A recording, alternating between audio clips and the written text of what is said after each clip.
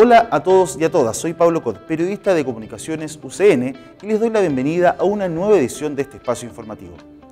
Les contamos que Radio Sol cumplió 40 años de existencia. La emisora de la Universidad Católica del Norte realizó por primera vez sus transmisiones para Antofagasta y el Norte el domingo 24 de abril de 1983 en el 97.7 del dial. De la mano de nuestra universidad durante este tiempo, Radio Sol ha sido uno de los medios de comunicación más importantes de la zona, cubriendo eventos históricos como la visita del Papa en 1987 o el fatídico aluvión de Antofagasta de junio de 1991.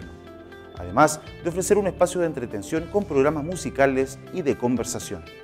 Bueno, con la radio hemos ido creciendo con los auditores, eh, eh, nos sentimos muy parte de Antofagasta, son 40 años de historia en donde hemos contado la historia de, lo que sucede aquí en el norte de nuestro país. Y tal como lo decía, hemos crecido con los auditores, pues los auditores siguen siendo muy fieles a la radio. Es por eso que estamos muy contentos de, cumplir esto, estos cuatro, estas cuatro décadas, eh, junto a ellos, junto a quienes también han confiado en estos 40 años de la radio. Les contamos además que consejeros regionales de Coquimbo recibieron certificación del Instituto de Políticas Públicas de la UCN.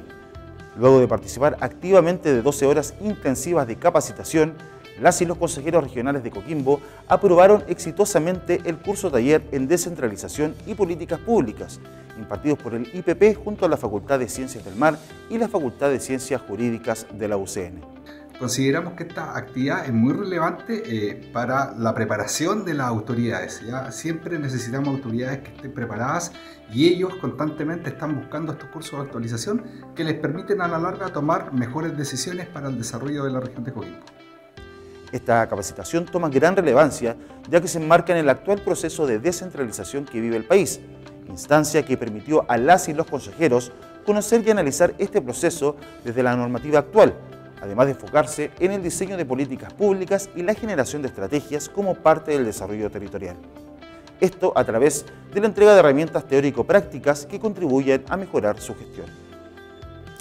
Con el Seminario Internacional Creando las Bases para el Desarrollo Sustentable del Litio en Chile, el viernes pasado fue presentado oficialmente Litio, I más D I, Centro de Investigación, Desarrollo e Innovación en Baterías de Litio, iniciativa conformada en 2022 en la Universidad Católica del Norte para realizar investigación científica sobre innovación tecnológica en toda la cadena de valor de las baterías de litio.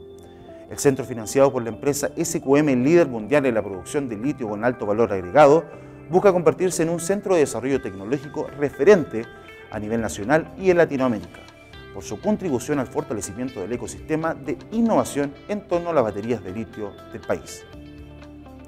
Te contamos además que más de 250 estudiantes participan en el Campeonato Escolar de Matemáticas organizado por la UCN. Con la participación de estudiantes de La Serena, Coquimbo, Ovalle, Vallenar, la iniciativa organizada por el Departamento de Enseñanza de las Ciencias Básicas de la UCN busca incentivar el aprendizaje de las matemáticas por medio de variadas actividades que se realizan de forma individual, por equipos y por colegios, midiendo habilidades y destrezas en el área. Asimismo, te contamos que el Instituto de Políticas Públicas de la UCN y el Mercurio de Antofagasta realizaron el primer debate de candidatos a consejeros constitucionales de la región de Antofagasta. El encuentro permitió a la comunidad conocer a las personas que hoy se están postulando a representar a la región en el Consejo Constitucional. El evento se realizó en dos jornadas y contó con la participación de las y los candidatos de las diferentes listas en la zona. Recordemos que el próximo 7 de mayo los chilenos y chilenas mayores de 18 años deberán emitir su voto para elegir a los consejeros constitucionales encargados de discutir y aprobar el texto de una nueva constitución. ¿Cuáles son los próximos eventos de nuestra universidad?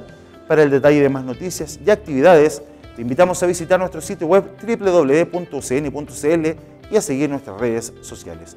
Gracias a todos y a todas por acompañarnos en este espacio informativo. Que tengan una excelente semana.